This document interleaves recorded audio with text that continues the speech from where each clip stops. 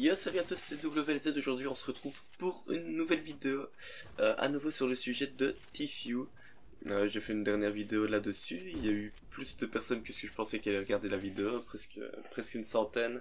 Alors que bon dans la dernière vidéo je faisais euh, une vingtaine de vues voilà donc ça me fait extrêmement plaisir. elle est un peu brouillon je trouve. Donc ici je vais faire une vidéo pas forcément plus détaillé, donc qui va pas durer trop longtemps, mais le plus concis possible, donc le plus rapidement, avec euh, le plus d'informations possible, comme ça ça prend pas trop de temps et c'est plus facile à écouter. Donc, il y a quelques jours j'ai fait une vidéo, euh, la, la FaZe avait un peu réagi concernant au, drama de Tfue, comme quoi il n'avait perçu que 60 000 dollars par rapport euh, aux revenus de Tfue, etc., qui était juste 60 000 dollars par rapport à la marque FaZe, donc le vêtement, etc., et Tfue.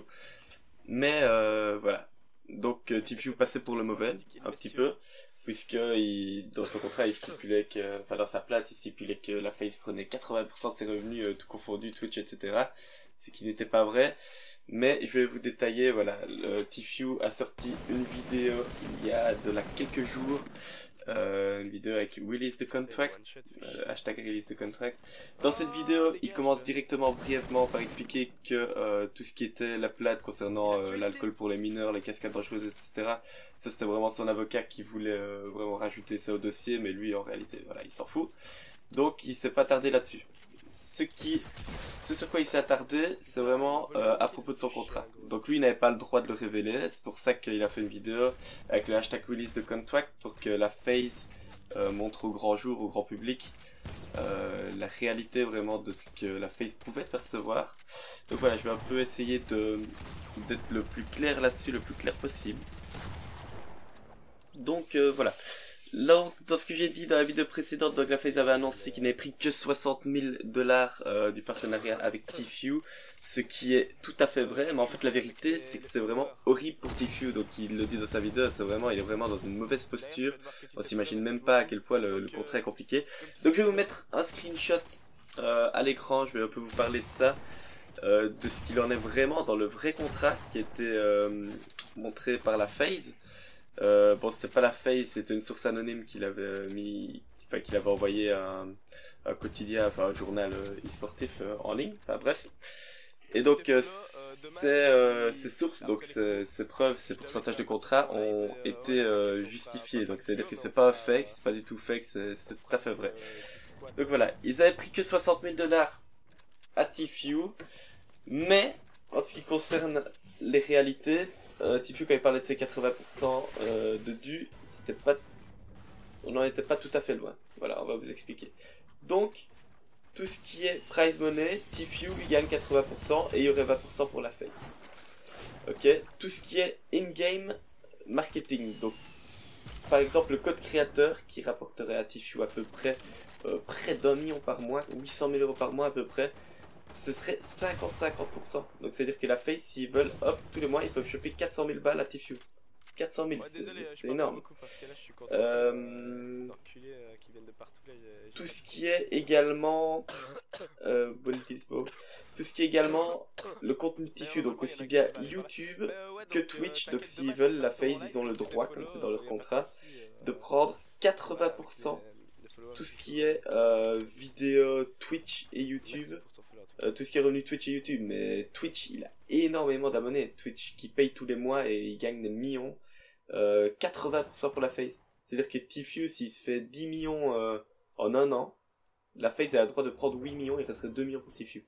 Ce qui est énorme, mais franchement, 8 millions. Tu perds 8 millions comme ça dans un claquement de doigts. Euh, voilà, il y a d'autres euh, pourcentages, voilà, donc je vais pas trop m'attarder dessus.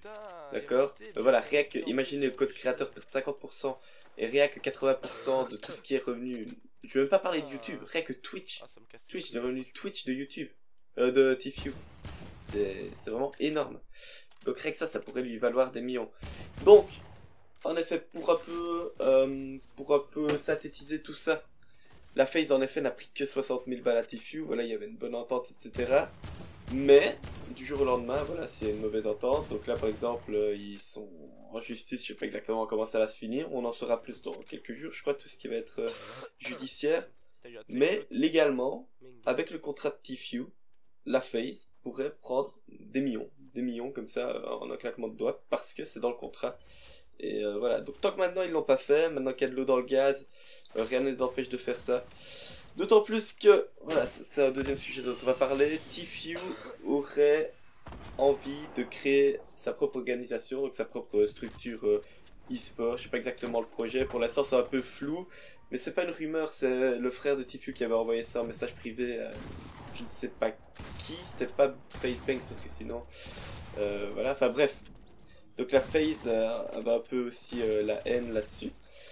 D'autre part, un autre sujet, la FaZe pour se défendre de cet ancien contrat aurait proposé plusieurs renouvellements de contrats plus à l'avantage de Tfue depuis, enfin entre l'an et demi, donc les 18 mois qui ont passé depuis qu'il est membre FaZe, ils auraient proposé plusieurs fois de renouveler un contrat euh, entre Tfue et la FaZe Clan, un contrat qui serait plus en faveur de Tfue, donc euh, beaucoup moins de pourcentage pour la FaZe, etc. Maintenant, ces contrats-là, voilà, ils, en auraient proposé un déjà en septembre 2018, et euh, deux, un en début avril, un en fin avril ici 2019, mais ces offres de contrat auraient été refusées par Tfue, son père et son avocat. voilà. Ces contrats, la FaZe dit que voilà, ils étaient plus en faveur de Tfue. Maintenant, ces contrats-là, la FaZe a juste dit qu'ils ont été proposés, mais ils ne disent pas ce qu'ils avaient proposé niveau pourcentage, etc. Donc ça se met, c'était peut-être, euh, il y avait peut-être encore de la douille côté Tfue.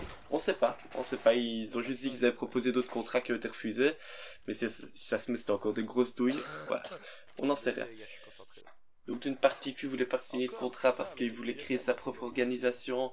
D'ailleurs, il y a Nick Merck, euh, un gros influenceur, euh, gros de la communauté Fortnite, euh, joueur manette, euh, qui a quitté la Sentive, donc la team de Nate Il y aurait une rumeur comme quoi il rejoindrait incessamment sous peu, quand le projet pourrait avoir lieu, la, le clan de Tiffy, voilà, parce que c'est un gros influenceur, ça peut faire venir du monde. Voilà, on n'en sait pas plus pour l'instant. Euh, donc voilà, est-ce que Tfue a refusé les offres parce qu'il voulait vraiment créer sa propre organisation? Est-ce que les offres n'étaient à nouveau pas trop en sa faveur? On n'en sait pas plus pour l'instant, on va voir comment ça va se passer. Euh, voilà, merci en tout cas à tous ceux qui ont regardé la vidéo. N'hésitez pas à vous abonner, liker, euh, me follow sur Twitch, le lien dans la description. Et voilà, c'est tout ce dont j'avais à vous parler. J'ai essayé d'être le plus clair possible, le plus court possible. Euh, voilà, j'espère que ça vous a plu, que vous en savez plus maintenant sur le sujet. Et peut-être qu'il y aura un épisode 3. Voilà, on sait pas. Euh, vous savez pas comment évolue cette histoire. Ciao les gens, c'était WLZ, peace.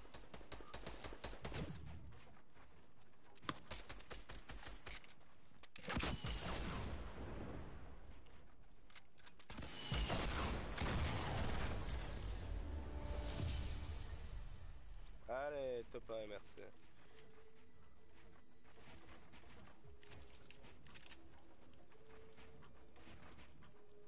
Ok.